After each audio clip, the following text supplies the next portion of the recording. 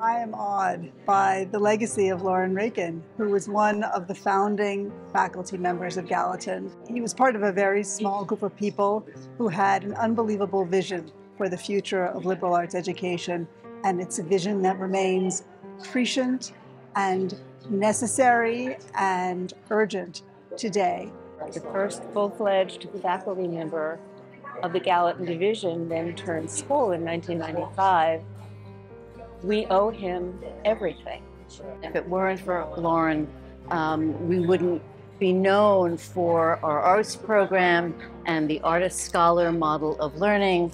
When an artist creates, what does that mean for the individual and the society in which they operate? Laurin's legacy is about uh, the individual and their place in society and how the arts are a river and a path toward the benefit of both. He had an expansive imagination, a generous and feeling heart, and he felt that way about everyone that he met. He would not light up the conversation. I think he would fire up a conversation.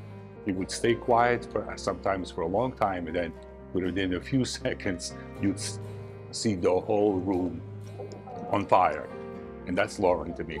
Laurin is the cornerstone of all that is Gallatin to me. He's the reason I'm here. He was a great professor for me. He was a great colleague and a great friend. I'm so appreciative of his contribution to education, to school, and to all our lives here. If Gallatin School for Individualized Study were Mount Olympus, Laurin Raiken would be Zeus. And all of us would be his children. He embodied everything that Gallatin stands for in every way. And he was supportive and kind and loving and just, just one of the best human beings I have ever known. So every day that we are part of the institution that is NYU Gallatin 50 years later, we are living the legacy of Laurin Raiken and we are abundantly grateful to him for that gift. How much do we love you? We tell you no lie. How deep is the ocean? How high is the